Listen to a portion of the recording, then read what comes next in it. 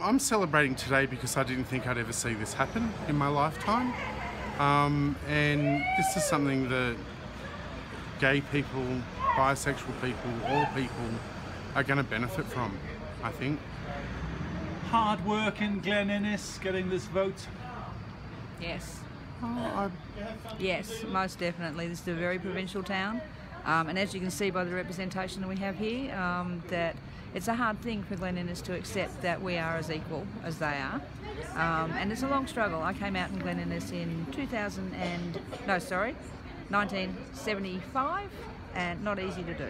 So much better today. So this is a big victory for us, massive victory for us. It means we're equal, first time. Very good.